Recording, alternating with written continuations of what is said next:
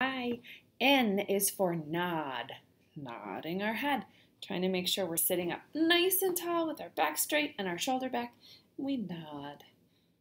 N is also for neck, and your neck can also turn. See how far you can make yours turn. Stretch it out a little bit. And your neck can also tip to the side, trying to bring your ear down to your shoulder, not to your shoulder up to your ear. So we tip our neck, bending our neck, and it's a good way to stretch it out with all this time on our computers and our iPads. Nod and our neck.